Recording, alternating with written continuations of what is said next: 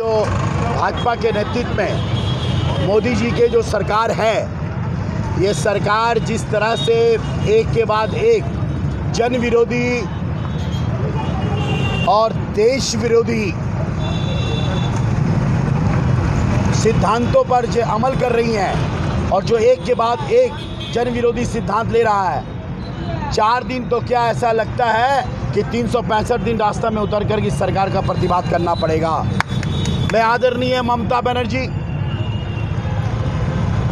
को कुटी कुटी प्रणाम करना चाहता हूँ, जिन्होंने सही समय में सही फैसला किया है। और पिछले 6 जुलाई से लेकर 13 जुलाई लगातार पूरे पश्चिम बंगाल में ममता बनर्जी के आदर्श पर मैं बार बार ये बात कहता हूँ, उनके आदर्श, वो सबसे पहले ममता बनर्जी के सामने में सबसे पहले रहता है आदर्श।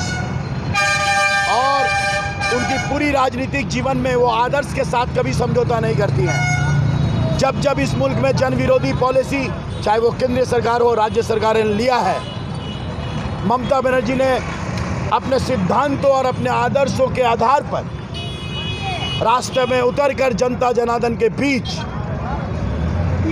तहरीक की है, आंदोलन की है, और आंदोलन की प्रतीक है ममता बनर्जी। जद्दोजहद की प्रतीक है ममता बनर्जी।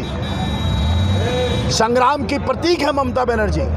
और हम सब सिपाही, उनसे ये सीखा है, लड़ाई लड़ाई लड़ाई चाहे, लड़ाई करे, वास्ते चाहे।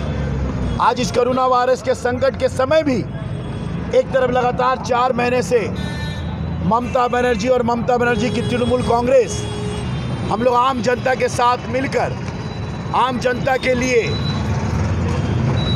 ज़मीनी सतह पर उतरकर चाहे वो राशन का कोपन हो, चाहे वो राशन का डिस्ट्रीब्यूशन हो, चाहे लोगों को मास्क का तकसीम करना हो, या लंगर के ज़रिए खाना खिलाने का मामला हो, या लोगों को बेदार करने का मामला हो ट्रीटमेंट करने का मामला हो, लगातार चार, साढ़े चार महीना से अगर पश्चिम बंगाल के सरजमी पर अगर उतर के कोई काम कर रहा है तो तृणमूल कांग्रेस।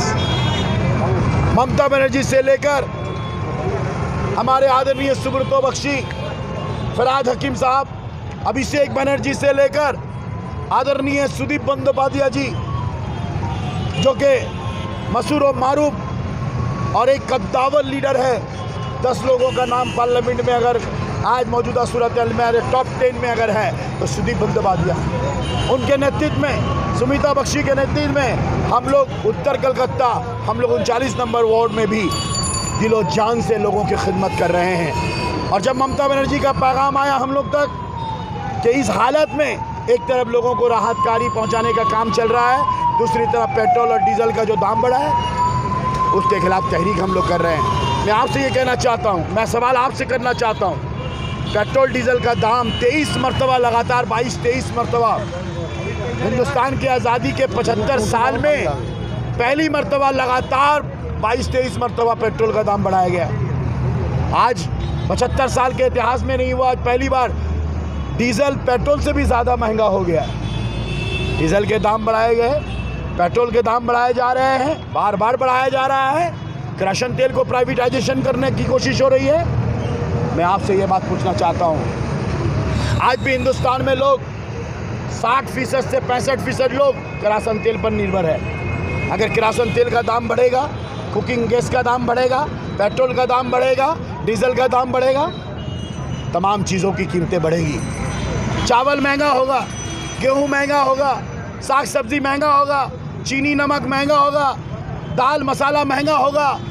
इंसान को जीने के लिए मैं ज़िंदगी के लिए नहीं कहता हूँ जीने के लिए रोज़मर्रा जो चीज़ों की ज़रूरत है तमाम चीज़ों की कीमतें बढ़ेंगी इसलिए हम मुखालफत कर रहे हैं। आज हमारे देश में हम लोग देख रहे हैं प्राइवेटाइजेशन के नाम पर रेल को बिक, बिक्री किया जा रहा है बीएसएनएल को बेचने की कोशिश हो रही है कोयल इंडिया को बेचने की कोशिश हो रही है बैंक को प्राइवेटाइजेशन करने की बात हो रही है। हवाई जहाज़ को प्राइवेटाइजेशन करने की बात हो रही है।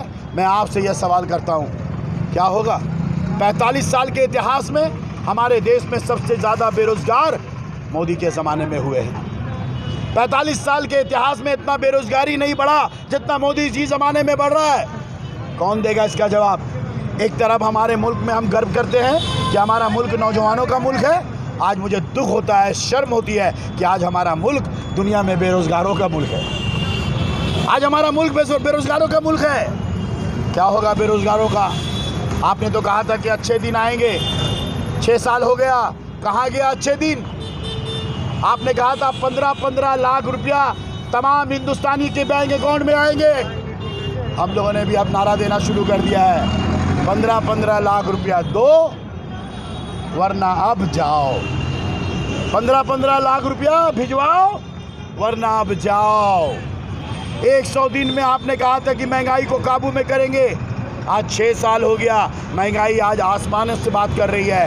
हमारे देश के पचहत्तर साल के इतिहास में हिंदुस्तान इतना महँगाई नहीं हुआ था जितना महँगाई आज हो रहा है। मैंने कल भी कहा था, अब भी कहता हूँ कि ये महँगाई मोदी को महँगा पड़ेगा। ये महँगाई मोदी को महँगा पड़ेगा। कैसे समय में पेट्रोल का दाम बढ़ाया गया? कैसे समय में डीजल का दाम बढ़ाया गया? कैसे समय में कुकिंग गैस का दाम बढ़ाया गया? ऐसे समय में जब हिंदुस्तान के लोगों के पास रोज़गार नहीं है, लोगों के पास काम नहीं है, चालीस करोड़ माइग्रेंट लेबर मजदूर, बड़े अफसोसनाक वाक्य हुए हमारे देश में। हमारे देश का मजदूर रास्ते में बच्चा मर गया, रास्ते में बीवी मर गई। पाँव में छाड़े पड़ गए। भूख के मारे। तड़प तड़प के पाँव में छाले लेकर के किसी तरह से अपने गाँव में पहुँचे हैं। चालीस करोड़ लेबर मजदूर, जो महाजरीन मजदूर है, उनका क्या होगा?